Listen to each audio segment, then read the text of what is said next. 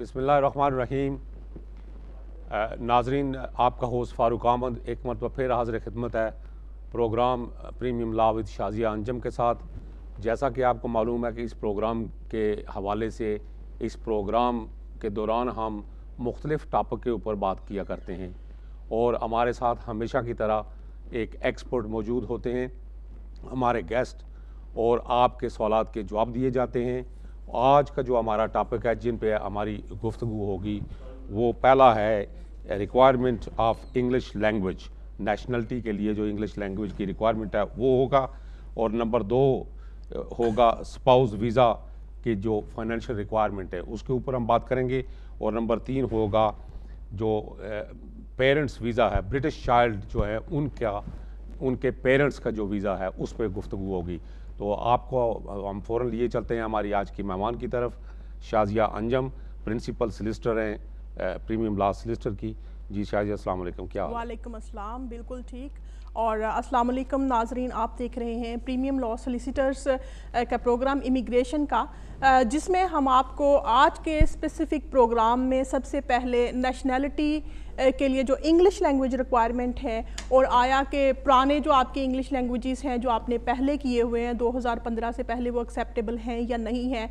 और दूसरी बात हम आपको जो बताएँगे वो उस बेसिस पे है कि आपकी जो स्पाउस वीज़ा के फाइनेंशियल रिक्वायरमेंट है, उसमें क्या क्या कॉम्प्लिकेशंस आती हैं किस किस तरह से वो आपके लिए एक्सेप्टेबल होगा और कौन कौन सी ऐसी बात है जिससे आप फिनंशियल रिक्वायरमेंट की कंप्लाइंस को पूरा कर सकते हैं कौन कौन से डॉक्यूमेंट्स पॉइंट्स आपने लगाने हैं। और तीसरे नंबर पे हम आज के प्रोग्राम में आपके साथ डिस्कस करेंगे कि वो स्पाउस जो फिनंशियल रिक्वायरमेंट पूरी नहीं कर सकते, वो यूके में किस तरह से आ सकते हैं? या फिर जो ब्रिटिश चाइल्ड के जो पेरेंट्स हैं, वो इस मुल्क में किस तरह से आ सकते हैं?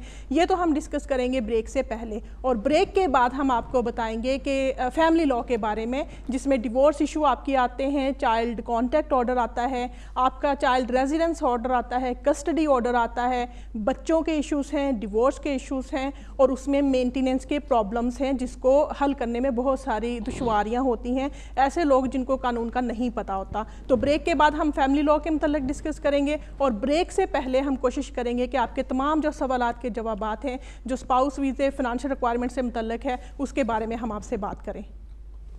जी तो शाजिया बीबी, जैसा कि आपको मालूम है कि जो लास्ट प्रोग्राम हमने लास्ट वीक लास्ट थर्सडे को जो किया था उसके बाद जो इतनी फीडबैक हम आपके पास आ रही है आपके ऑफ़िस के अंदर जो लोगों की इंक्वायरीज हैं मैं चाहूँगा कि उसको हम थोड़ा सा रिव्यू कर लें कि लोग आपसे क्या पूछ रहे हैं ज़्यादा तर किस किस्म के सवाल आप, आपकी तरफ़ आ रहे हैं? बहुत ज़्यादा, जो सवाल बहुत ज़्यादा हमारे पास इंक्वायरीज़ आ रही हैं, वो नाजरीन की तरफ़ से इंक्वायरीज फिनंशियल रिक्वायरमेंट की स्पाउस वीज़ा की है जिसमें कि फ़िनंशियल रिक्वायरमेंट लोग पूछते हैं कि ये हमारी सैलरी स्लिप है, हमने अपना एम्प्लॉयर चेंज कर लिया है। तो एम्प्लॉयर चेंज करने से क्या अभी भी हमें छः महीने की वेज स्लिप लगानी पड़ेगी? तो उनके लिए आंसर ये है कि अगर आपने पिछले दो महीने में, तीन महीने में अपना एम्प्लॉयर चेंज किया है तो फिर आपको छः महीने की नहीं, बल्कि पूरे साल की सैलरी स्लिप लगानी पड़ती है।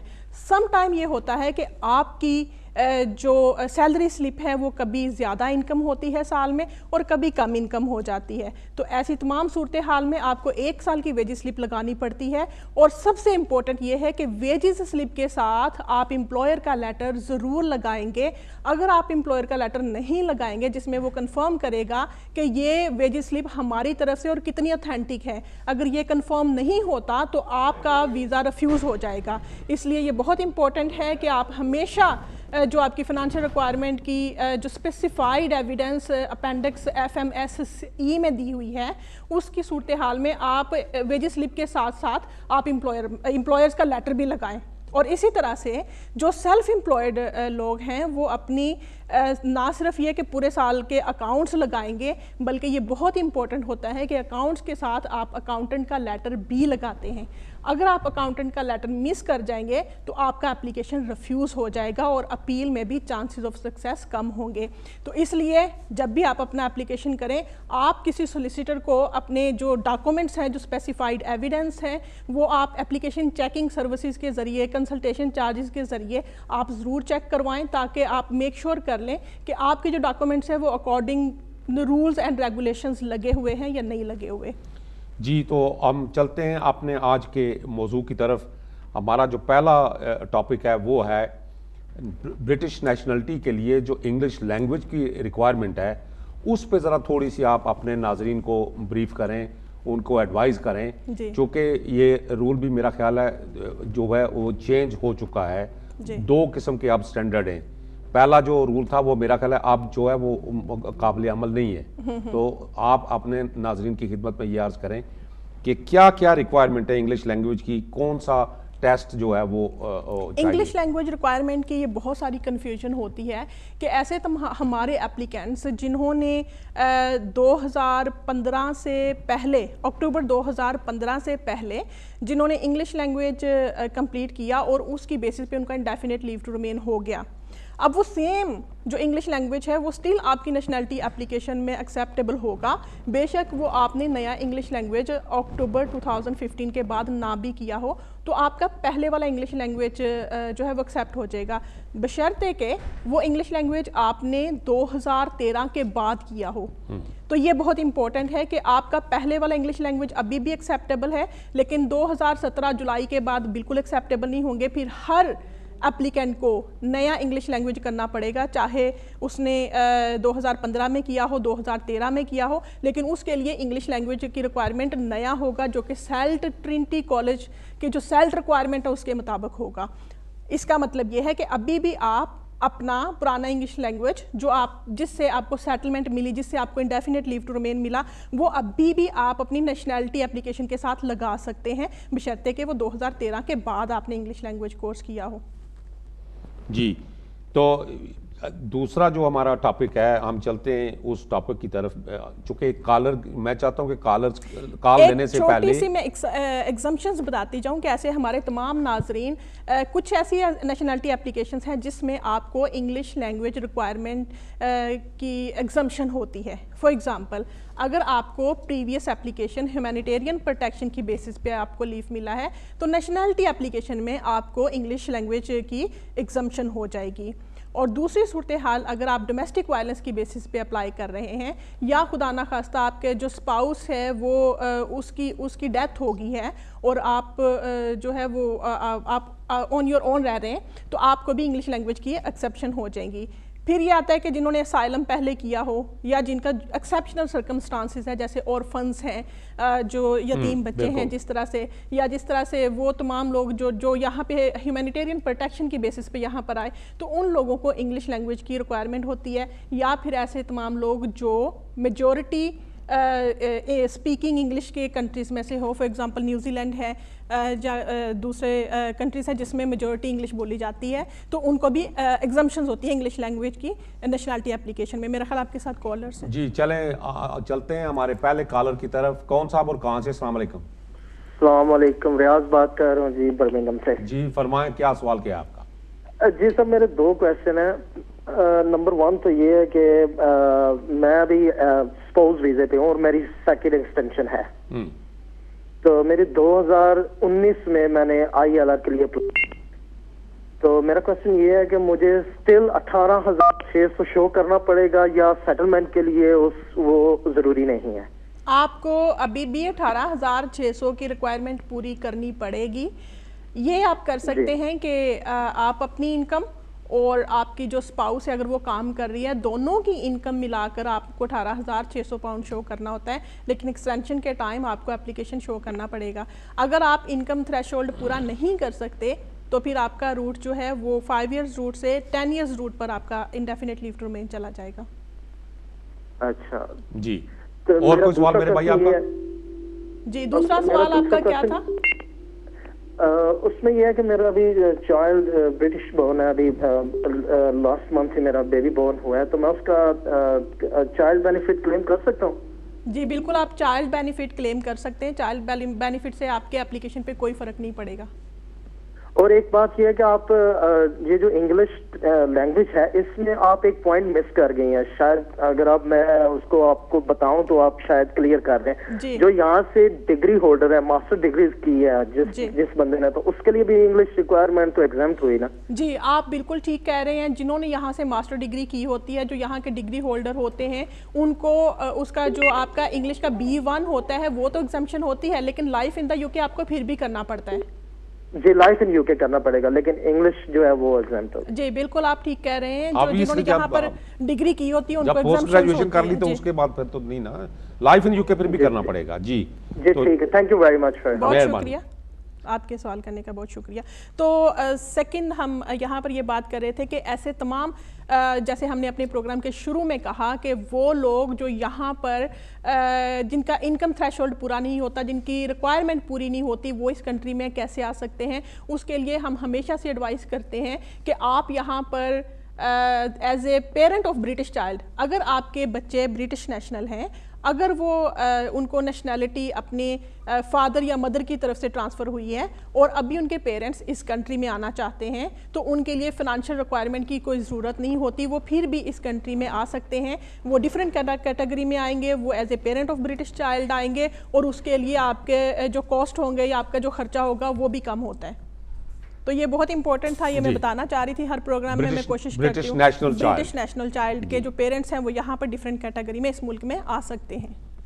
तो ये फाइनेंशियल रिक्वायरमेंट तो ये इशू हमारा हो गया in relation to financial requirement अब हम चलते हैं आगे जो है ये जी आगे बढ़ने से पहले मेरा ख्याल हमारे साथ एक कॉलर है। जी सलाम वालेकुम। कौन साहब और कहाँ से? जी सलाम वालेकुम। जी सलामकम जी फरमाए कौन सा और कहाँ से बोल रहे जी मैं रफीक बोल रहा हूँ हैं और अपना टीवी टीवी की आवाज़ आप मेहरबानी तो मैंने पूछना था कि मुझे यहाँ पे आए हुए पंद्रह साल हो गए हैं तकरीबन शादी भी की है। जी।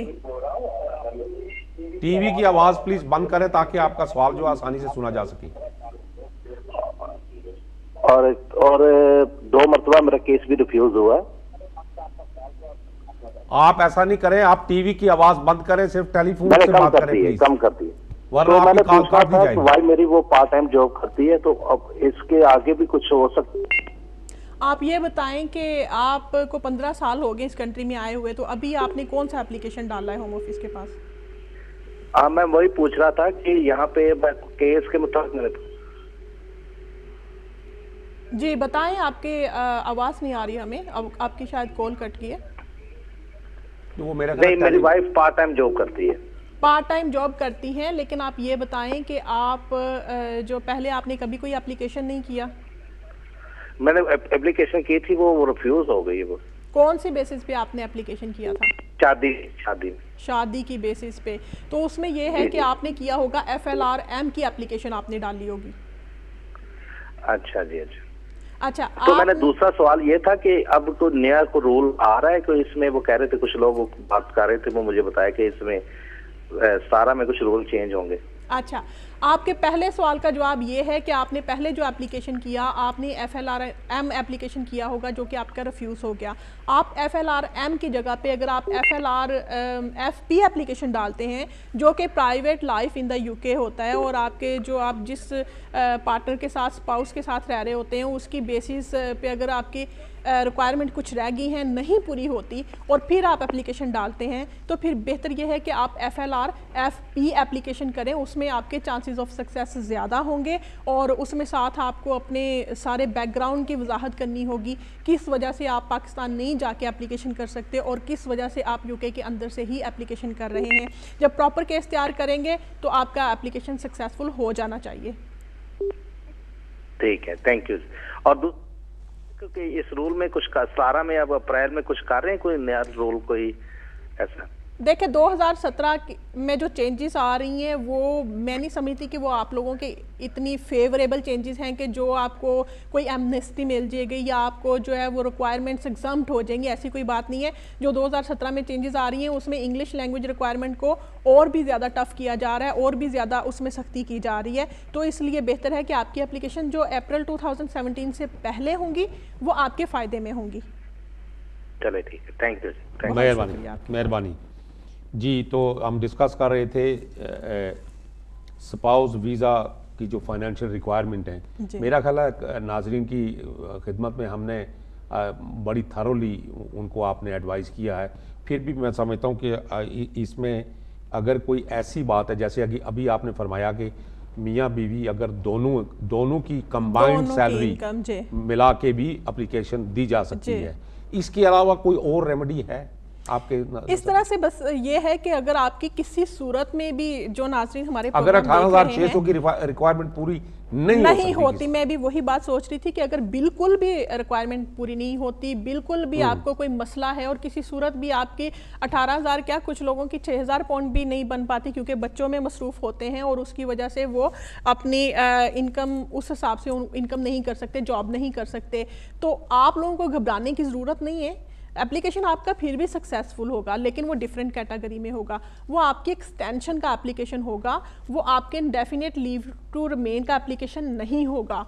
क्योंकि अगर आपकी रिक्वायरमेंट पूरी नहीं होती तो फिर आपको फाइव ईयर के बाद इंडेफिनेट नहीं मिलता। फिर आपको टेन ईयर्स के रूट पे डाल दिया जाता है और आपको एक्सटेंशन पे एक्सटेंशन अप्लाई करनी पड़ती है। जब आपको दस साल हो जाते हैं, फिर आप अपनी सेटलमेंट की एप्लीकेशन डालते हैं। जी तो नाजरीन, हम यहाँ चलते हैं एक मुख्तर ब्रेक की तरफ़, चूँकि अजान, इशा की अजान का टाइम हो जाता है। आपको फिर मिलेंगे इन ब्रेक के बाद।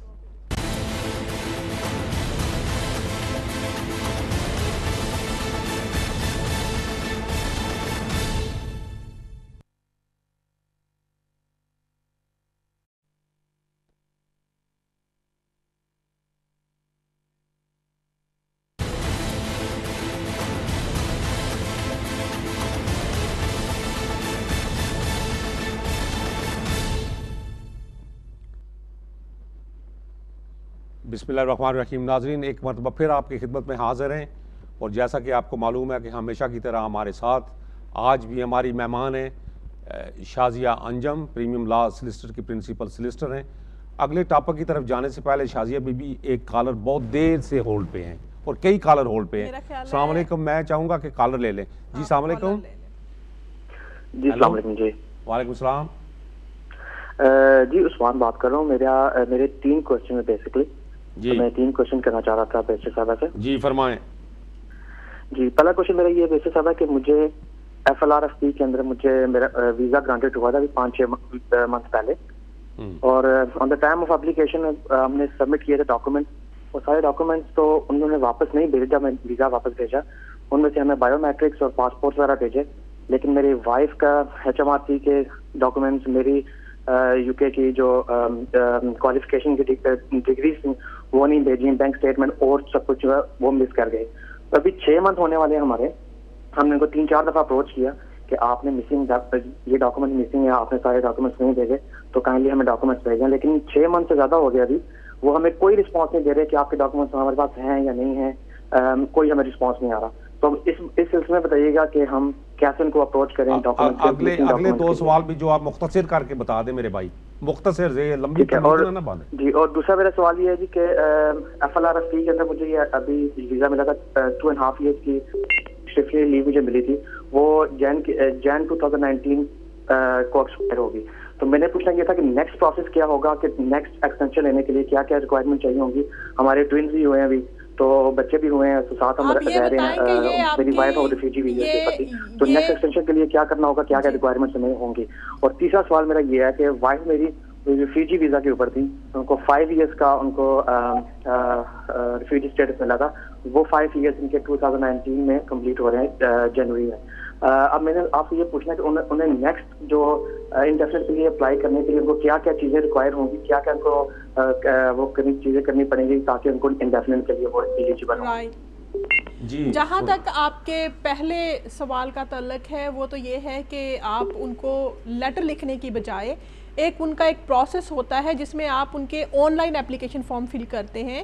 आप ऑनलाइन अपनी रिक्वेस्ट डालेंगे कि आपके ओरिजिनल डॉक्यूमेंट्स आपको वापस किए जाए। जिस तरह से आप ऑनलाइन फॉर्म फिल करते हैं कि आपका ओरिजिनल पासपोर्ट आपको वापस दिया जाए, उसी तरह से उसी सेक्शन पे आप वो फॉर्म फिल करेंगे कि आपके सारे ओरिजिनल डॉक्यूमेंट्स आपको वापस भेजें तो वो within ten working days आपके डॉक्यूमेंट्स वो डिपार्टमेंट आपको वापस भेज देगा। अब जहाँ तक दूसरे सवाल की बात है आपने ये पूछा कि आपका जो F L R F P है वो आपकी एक्सटेंशन हो चुकी है और उसके बाद आप नेक्स्ट एक्सटेंशन के लिए कौन कौन से डॉक्यूमेंट्स रिक्वायर्ड होंगे हम्म। तो उसमें यह है कि जिस तरह से आपके हालात चेंज होते हैं जैसे अभी आपका बेबी बॉर्न हुआ है अभी जिस तरह से आपको जो सर्कमस्टांसिस आपके चेंज हुए हैं तो जस्ट बी नेचुरल जब आप जो डॉक्यूमेंट्स आपके पास अवेलेबल हैं, वो आप लगाएँगे, बच्चे से रिलेटेड लगाएँगे डॉक्यूमेंट्स और उसके अलावा आप अपने वाइफ के कॉरस्पॉन्डेंस के डॉक्यूमेंट्स लगाएँगे तो जेनेरिकली आपने अपनी पासपोर्ट साइज़ की तस्वीरें भेजनी होती, उनकी फ़ीस भेजनी होती फॉर्म फिल करना होता है। फॉर्म के एंड पे आपको लिस्ट ऑफ़ डॉक्यूमेंट सारे मिल जाते हैं। तो उसके लिए आपको इतना वरी होने की ज़रूरत नहीं है, क्योंकि अगर आपका बेबी यहाँ पर बोर्न हुआ है, आपको एक्सटेंशन मिलती रहेगी। जहाँ तक आपने बात की है जो तीसरे सवाल की आपने ये कहा है कि आपकी वाइफ के पास असाइलम स्टेटस है। तो मुझे ये समझ नहीं लगती कि आप उनके जैसे फैमिली मेंबर हैं आप स्पाउस हैं तो आप फैमिली रीयूनियन स्कीम में भी उनके साथ आ, वो यूनाइटेड हो सकते हैं एज लॉन्गर्स के आपकी जो मैरिज है उनको स्टेटस मिलने से पहले हुई हो। अगर स्टेटस मिलने के बाद में हुई है तो फिर आपकी एक्सटेंशन तब तक चलती रहेंगी जब तक आपकी वाइफ को इंडेफिनेट नहीं मिल जाएगा और जहाँ तक रह गया उनके डॉक्यूमेंट्स का सवाल हम्म। तो उनके चूँकि असाइलम है असाइलम में बहुत सारी रिक्वायरमेंट्स नहीं होती उनको इंग्लिश लैंग्वेज का प्रॉब्लम नहीं होगा उनको फिनंशियल रिक्वायरमेंट की प्रॉब्लम नहीं होगी तो उनका सिंपल प्रोसेस है वो अपनी एप्लीकेशन सिंपली पुट करेंगी और सेटलमेंट का जो आ, होता है उसका सेट पी फॉर्म बोलते हैं और वो आप फॉर्म कर फिल करके और उसके आगे लिस्ट ऑफ़ डॉक्यूमेंट्स बने होते हैं उसको टिक मार्क कर लें और आई होप कि उनको आसानी से उनका लीव टू उनका इंडेफिनेट लीव टू रिमेन मिल जाएगा। ठीक है आई होप कि आपको तमाम अपने सवालों के जवाब मिल गए होंगे लेकिन फिर भी अगर आपने बात करनी है तो आप हमारी प्रीमियम लॉ सोलिसिटर्स की वेबसाइट से नंबर लेकर बाकी आपके जो सवाल हैं आप बाद में भी हमसे ऑफेयर डिस्कस कर सकते हैं। बहुत शुक्रिया आपकी कॉल का।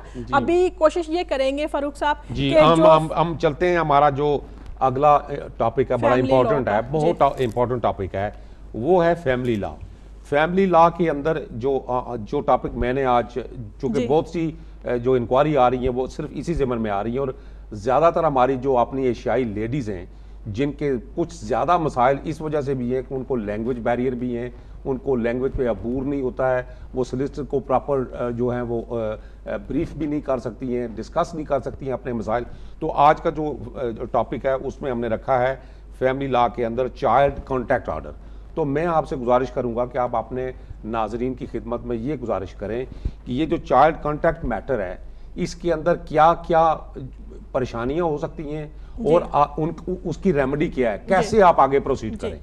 सेक्शन एट की एप्लीकेशन होती है चाइल्ड कॉन्टैक्ट ऑर्डर की, और उसमें यह होता है कि जब घरेलू नाचाकियाँ हो जाती हैं, परेशानियाँ हो जाती हैं, और आपस में मियाँ बीवी के तल्लक अच्छे नहीं रहते, जिसमें जो बच्चे हैं वो प्रॉब्लम का सामना करना पड़ता है बच्चों को, और पेरेंट्स जो है वो एक, नहीं चाहते कि अगर बच्चे जो है वो माँ के पास है तो वो नहीं चाहेगी कि बाप जो है वो अपने बच्चों को मिलने के लिए आए, क्योंकि उनकी अपनी घरेलू नाचाकियाँ चल रही होती हैं। इसी तरह से अगर बाप के पास बच्चे हैं तो बाप की समटाइम ये कोशिश होती है कि जो माँ के पास बच्चे ना जाएँ ताकि बच्चे मेरे पास रहें और माँ को मिलने से रोका जाता है। चाहे माँ हो या चाहे बच्चों का जो बाप है वो हो। ऐसी सूरत हाल में उनका राइट होता है कि वो अपने बच्चों से मुलाकात करें, अपने बच्चों के साथ कुछ टाइम स्पेंड करें और अपने बच्चों के थोड़ा उनको सोशल स्किल्स और जो अपनी सोशल स्किल्स होती है कल्चरल स्किल्स होती हैं, वो सिखाएँ। तो ऐसी सूरत हाल में ये होता है कि आपस में झगड़ा और डिस्प्यूट करने की बजाय आप एक एप्लीकेशन होते हैं चाइल्ड कॉन्टैक्ट ऑर्डर की एप्लीकेशन सेक्शन एट के तहत फैमिली कोर्ट में काउंटी कोर्ट में आप वो एप्लीकेशन भेजते हैं। उसकी आप तीन सेट तीन कॉपियाँ आप कोर्ट में भेजेंगे, उसकी 215 पाउंड आपकी कोर्ट फ़ीस होगी, या फिर अगर आपको कुछ सर्टन बेनिफिट्स मिल रहे हैं तो वो फिर आपको उसकी फ़ी एग्जामेशन भी मिल जाती है। आपको without paying any kind of fees to court आप वो एप्लीकेशन कोर्ट में भेज सकते हैं। तो कोर्ट क्या करते हैं कि आपकी एक मेडिएशन अपॉइंटमेंट बुक कर दी जाती है, कि जिसके तहत हो सकता है कि आपको हेयरिंग के बगैर ही आपकी अरेंजमेंट हो जाए, आप बच्चों से मुलाकात का एक शेड्यूल आपका तय कर दिया जाए। लेकिन किसी वजह से अगर पार्टीज़ में आपकी जो सुलह नहीं हो पाती, बच्चों के अरेंजमेंट नहीं हो पाते, फिर at the end of the time आपको कोर्ट की हेयरिंग डेट का सामना करना पड़ता है और आप सोलिसिटर के ज़रिए सोलिसिटर को रिप्रेजेंट करके आप बेहतरीन तरीके से अपना केस फाइट कर सकते हैं। मेरी आप लोगों को ये एडवाइस होगी कि अगर आपको किसी तरह से आप ये सोचते हैं कि सोलिसिटर हायर करना बहुत एक्सपेंसिव है। कम अज़ कम आप सोलिसिटर के पास कंसल्टेशन ज़रूर लें उनसे आप एडवाइस ज़रूर लें फिर आप बेशक खुद कोर्ट में चले जाएँ लेकिन थोड़ा पेपर वर्क आप चेक करवा लें। तो ऐसी सूरत हाल में यही मैं चाह रही थी कि कॉन्टैक्ट ऑर्डर का एक बहुत सेंसिटिव इशू है जिसमें पार्टीज़ को मसाइल का सामना करना पड़ता है। उसमें रेजिडेंस ऑर्डर आता है उसमें कॉन्टैक्ट ऑर्डर आता है उसमें बच्चों के कस्टडी ऑर्डर्स आते हैं। तो ये मुख्तलिफ़ तीन मुख्तलिफ़ ऑर्डर्स हम्म। होते हैं फिर उसमें इंजंक्शन ऑर्डर आ जाता है। इसमें इसमें माजत के साथ और कॉलर बड़ी देर बिल्कुल आप कॉलर ले लें और कोशिश करेंगे कि अभी बाकी आने वाले प्रोग्राम में जो इससे रिलेटेड कस्टडी ऑर्डर से रिलेटेड होते हैं उसमें भी बात जी सलाम कौन सा और कहाँ से? कमा हूँ बर्मिंगम से मैं ये जानना चाहता हूँ कि मुझे इस मुल्क में तकरीबन साढ़े ग्यारह साल से सुजायद कर्ज हो चुका है। लेकिन मैंने आज छः सात सात साल पहले after completion of my degree from Birmingham university I apply my T one post study work that was in time but uh, for for some reason I, I withdraw my application due to the my family secretary has been sent back home so I withdraw uh, and and, uh, and flew back to, the, uh, to Pakistan. The time when I when I, I left the country, obviously I, I don't have well to visa, well leave to remain to come back and, and enter the United Kingdom again. आप ये बताएँ कि आपकी आप अगर अपना current question बताएँ तो उसके बाद बैकग्राउंड इन्फॉर्मेशन हम खुद ही पूछ लेंगे अभी आपकी क्वेरी क्या है what's your exact question I just want to know either uh, uh, because I was 11 years on basis of 11 years I'm, I'm entitled to apply ILR but there there is one gap how long, Was, uh, when I how, how long you've been to Pakistan? Second, please. How many months you've been to Pakistan? You've lived I, in Pakistan I, I for how long? I, I, so I was four, four months. Four, four months. months. So uh, by that time, because if you live outside the UK and you live uh, less than six months time, then it, it depends your continuity might not be breached. तो इस सिलसिले में आपको जो है ना वो अपने अगर आपको हमारा कॉन्टैक्ट नंबर चाहिए आप प्रीमियम लॉ सोलिसिटर्स की वेबसाइट से देख सकते हैं आई थिंक आपका जो इशू आ रहा है वो कंटिन्यूटी का आ रहा है कंटिन्यूटी के आपका काउंट करना जो है वो बहुत इंपॉर्टेंट है ये देखना पड़ेगा कि उसके अलावा भी आप मुल्क से बाहर कितना रहे हैं? अगर तो सिर्फ़ वही फोर मंथ्स आप मुल्क से बाहर रहे हैं तो हो सकता है कि वो आपका विद इन कंटिन्यूटी आएगा, क्योंकि वो less than six six months का पीरियड था। लेकिन अगर आपकी कंटिन्यूटी ब्रीच हुई है, उसमें कुछ ब्रेक आया है तो फिर आपको प्रॉब्लम्स होगी इंडेफिनेट लीव टू रिमेन में अप्लाई करने में। तो इसलिए बेटर है कि आप कंट्रोल रूम से हमारा नंबर ले लें, या फिर आप प्रीमियम लॉ वेबसाइट से सर्च कर लें तो बाद में आप हमसे डिटेल में बात कर सकते हैं। मैं मैं मैं मैं मैं मैं आपके पास समझ मतलब मैं मैं इन टोटल इलेवन ईयर्स के टाइम पीरियड में मैं जो टोटल मैं मुल्क से बाहर हूँ 256 डेज़ हैं। टोटल कितने महीने आप बाहर रहे? सॉरी आपका क्लियर आवाज़ नहीं आ रही। अगर आप बताएँ कितने महीने आप टोटल बाहर रहे? टोटल ग्यारह सालों के दरमियान 256 days 256 days. So that's so, fine.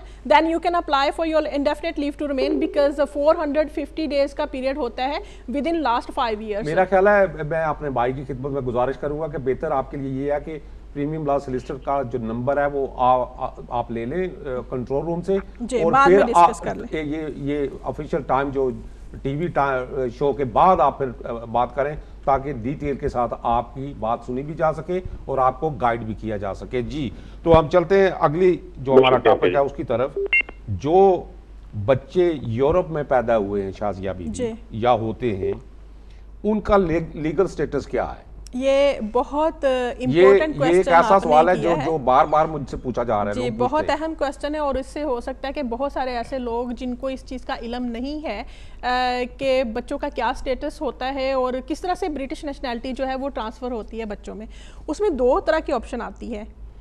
पहली बात तो ये है कि अगर आप जो जो पेरेंट्स हैं ये देखना होता है कि उनकी नेशनैलिटी जो है वो बाय बर्थ यूके के नेशनल हैं। या वो बाय डिसेंडेंट है। मतलब ये कि वो यूके के बोर्न नहीं है, लेकिन उनके पेरेंट्स की तरफ़ से उनको नेशनैलिटी ट्रांसफ़र हो गई। दो चीज़ें हैं, दोनों में डिफरेंस है। अगर तो पेरेंट्स यूके के बोर्न हैं और वो यूरोप में चले जाते हैं यूरोप में बेबी बोर्न हो जाता है, उसके बाद वो ब्रिटिश है और वो ब्रिटिश नेशनैलिटी अप्लाई कर सकते हैं, उसमें कोई प्रॉब्लम नहीं। अगर पेरेंट्स को ब्रिटिश नेशनैलिटी बाय डिसेंडेंट मिली है तो फिर उसमें प्रॉब्लम्स आ सकती हैं। वो भी इस तरह से प्रॉब्लम आ सकती है कि फिर भी ब्रिटिश नेशनैलिटी मिल जाएगी। लेकिन थ्रू प्रॉपर चैनल चलना पड़ेगा। उसको नेचुरलाइजेशन uh, करवानी पड़ेगी। जिस तरह से बच्चों को रजिस्टर करवाते हैं यहाँ पे एज ए ब्रिटिश सिटीजन और उसके बाद फिर नेशनैलिटी की एप्लीकेशन करते हैं। तो ये बहुत माइनर uh, सा डिफरेंस है। इस सूरत हाल में uh, दो राय होती हैं। बैकग्राउंड डिफरेंट होता है और उसी सूरत हाल में आप बच्चों की अपनी नेशनैलिटी अप्लाई कर सकते हैं। जी ये कॉलर हमारे साथ। कौन सा और कहाँ से? असलम जी अली, अली बात करो जी मैंने सवाल पूछा था। मैंने सुना है कि बहुत सारी वेबसाइट्स ऊपर भी कि जो ten years I N R road है वो बहुत जल्द बंद कर रहे हैं। जो मतलब टेन ईयर्स जो लोग लीगली इस कंट्री में गुजारते हैं वो ये आपको किसने होते हैं। ये ये आप ये आपको तो कहाँ से ये रूट बंद करें सूनर और लेटर इस बारे में कोई आपको इन्फॉर्मेशन है? आप ये बताएँ कि ये आपको कहाँ से खबर मिली है कि ये इंडेफिनेट लीव टू रिमेन की कैटेगरी लॉन्ग बेसिस पे काफ़ी पेजेस हैं वहाँ पे जो वेबसाइट के फेसबुक के ऊपर पेजेस बने वहाँ पे ये काफ़ी इन्फॉर्मेशन ऐसी रूमर्स ने फैलाई हुई तो हम थोड़े से वरीड हो गए कि मेरा आईएलआर कंप्लीट होने वाला है। तो मैं डर रहा था कि शायद ये चेंज ही ना करते लॉ कि लॉ चेंज करते हुए टाइम ही लगा रहे हैं आप ये बताएँ कि आपकी जो इंडेफिनेट है वो कब ड्यू है? 2020 में ड्यू है मेरी। 2020 में। तो अभी तो काफ़ी अरसा पड़ा है। फ़िलहाल तो ऐसी कोई हमारे पास खबर नहीं है कि जिसमें ये कह जाए ये क्लोज हो चुकी है या अनकरीब क्लोज होने वाली है। लेकिन अगर कभी क्लोज होती है तो उसका कोई ना कोई अल्टरनेटिव वे होगा कोई ना कोई ऑप्शंस होगी। तो अभी आपके काफ़ी साल पड़े हैं। आप कोशिश करें कि आप अपने गुड करेक्टर को मेनटेन रखें क्योंकि ये बहुत इंपॉर्टेंट है कि आप इमिग्रेशन हिस्ट्री आपकी क्लीन है। आपने कुछ ब्रीचेस नहीं किए हैं। हम्म। आपने कोई इमिग्रेशन ऑफेंसेस नहीं किए हैं। हम्म। आपके ड्राइविंग पॉइंट्स नहीं लगे हैं। आपने कोई आप पे सिविल पेनल्टीज नहीं लगी है इलीगल वर्किंग की या फिर आ, किसी तरह से आपकी आ, कोई और ऑफेंसेस नहीं हुए इमिग्रेशन के? कोई जब फाइनेंशियल फाइनेंशियल पेनल्टी भी नहीं होनी चाहिए। सिविल पेनल्टी फाइनेंशियल पेनल्टी में आ जाती है। हाँ। जब फाइनेंशियल पेनल्टी आपको कोर्ट से लगती है तो वो भी आपके गुड कैरेक्टर को अफेक्ट करती है। तो ये चीज़ें अपने आप को क्लियर क्लियर क्लियर रखें तो उस सूरत हाल में जैसे ही कोई फिर चेंजेस आती है उसका कुछ ना कुछ अल्टरनेटिव होता है उसमें आपको आ, कोई ना कोई वे आउट मिल जाता है तो अभी से उसमें वरी होने की आपको ज़रूरत नहीं है। ठीक है बहुत शुक्रिया लेकिन मैं आ, मैं अपने अपने नाजरीन की खिदमत में सिर्फ़ एक बात बड़े मौदबाना गुजारिश करूँगा कि आप सुनी सुनाई बातों पे यकीन ना किया करें रूमर पे आप बिलीव ना किया करें। जो रूमर्स होती हैं या जो सुनी सुनाई बातें हुई हैं उनका कोई कोई लीगल तल्लक नहीं होता। होम ऑफ़िस आपके आपके पास हमने एक्सपर्ट बैठाई हुई है ये Shazia Bibi premium law solicitor के प्रिंसिपल सलिस्टर भी हैं और लिंकन इनसे बैरिस्ट्री भी की हुई है। तो अगर इनकी मालूम इनके पास नहीं है तो आप सुनी सुनाई बातों पे अगर यकीन करेंगे तो वो अच्छी बात नहीं है। आप किसी भी एक्सपर्ट के पास जाएँ उनसे गाइडेंस लें उनसे एडवाइस लें अपना मसला उनको बताएँ और क्वालिफाइड लोगों के पास जाया करें। ये नहीं कि आप किसी कॉर्नर शॉप पे चले जाएँ उनको पैसे दे दिए फिर आपका केस भी खराब हो जाता है आपका केस एक नहीं फारूक साहब इंपॉर्टेंट बात यहाँ पर जो लोग सोलिसिटर को अफोर्ड नहीं कर सकते हमेशा आप गवर्नमेंट की वेबसाइट पर जाएँ वहाँ पर आप यूके वीज़ास एंड इमिग्रेशन का सर्च बॉक्स में टाइप करें। वहाँ से आपको लेटेस्ट जो आपको अपडेट्स और जो भी चेंजेस हुई हैं वो आपको मिल जाएँगी। तो आप अपने आप को अपडेट रखें। आप थ्रू वेबसाइट थ्रू जो लीगल बुक्स होती हैं उसके ज़रिए से आप अपने आप को अपडेट रखें। और जब भी कुछ वेरीफाई करना हो तो उनकी जो भी लीगल वेबसाइट होती है justice dot gov dot U K की वेबसाइट होती है वहाँ से आप इन्फॉर्मेशन लें। जी हमारे साथ एक और कॉलर है। जी सलामकुम कौन सा और कहाँ से?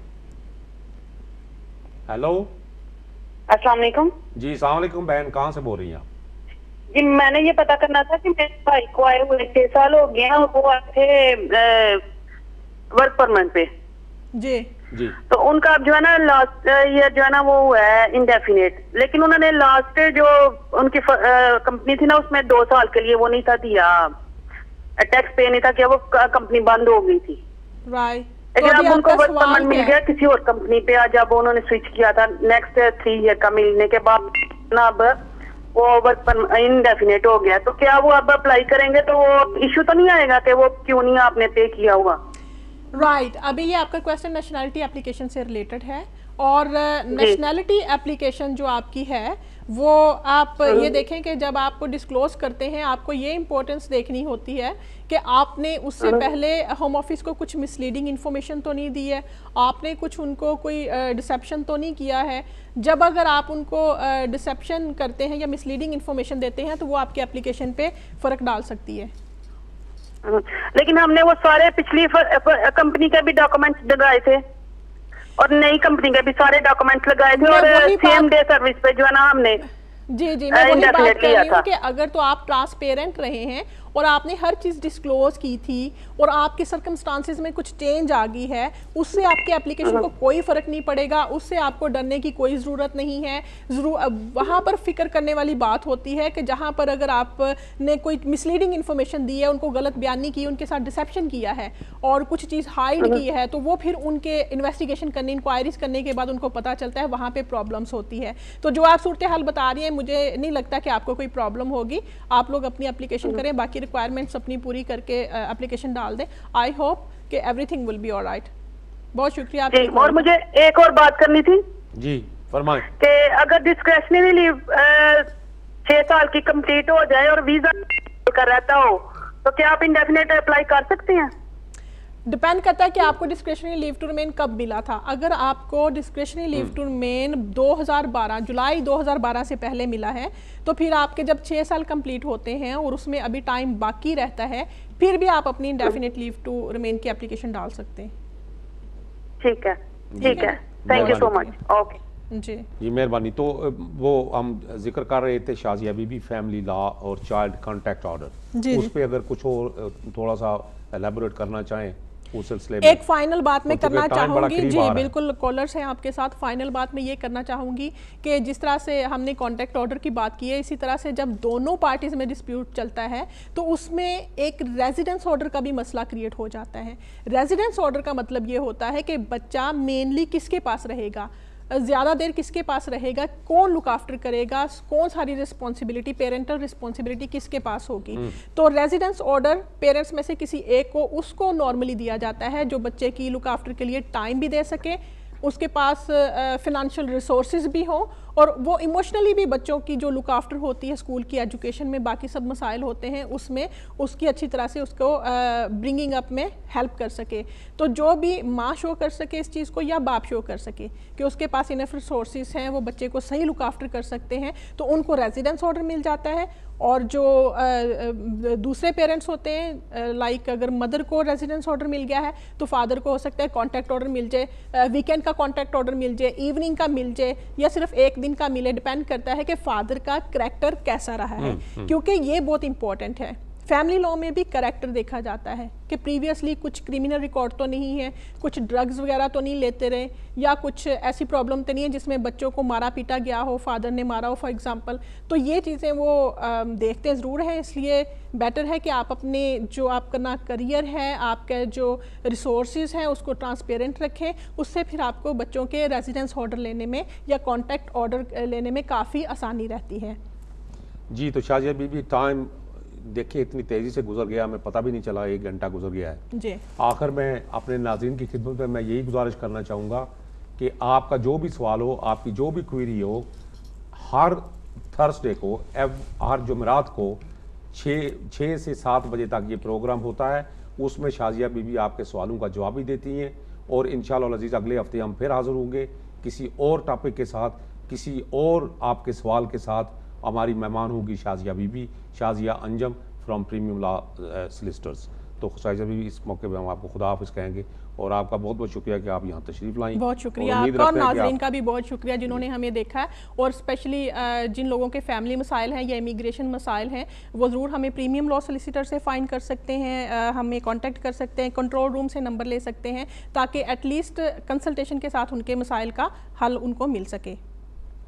जी नाजी तो इजाज़त लेते हैं। अल्लाह हाफिज़। मिलेंगे अगले हफ़्ते इन इसी प्रोग्राम के साथ।